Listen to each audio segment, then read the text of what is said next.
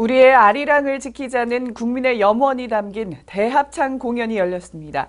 수원 월드컵 경기장을 가득 메운 아리랑의 함성. 오는 7월에는 뉴욕에 울려 퍼질 예정입니다. 최지현 기자입니다. 태극기를 흔들며 길놀이 패들이 입장하고 어느새 사물놀이 패들과 관중이 하나가 돼 아리랑 가락이 운동장을 가득 메웁니다. 이어지는 선녀들의 춤. 아리랑 가락과 어우러져 눈길을 사로잡습니다. 운동장은 4만여 명의 관중으로 꽉 찼습니다. 모두 우리의 아리랑을 공연자들과 함께 노래하기 위해 모인 사람들입니다. 이 형형색색 너무 아름다운 우리 문화 너무 아름다워서요. 이 아름다운 문화 정말 세계에 알리면서 아리랑도 우리 것이라고 같이 알리고 싶습니다. 이날 공연에선 우리 역사 희로애락이 담긴 전국 각지의 아리랑을 노래했습니다.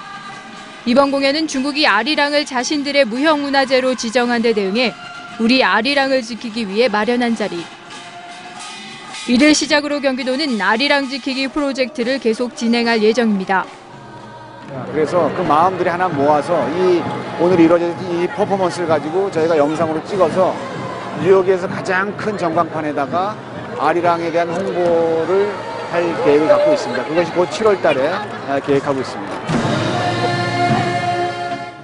사물놀이패와 농악단, 합창단만 4천여 명.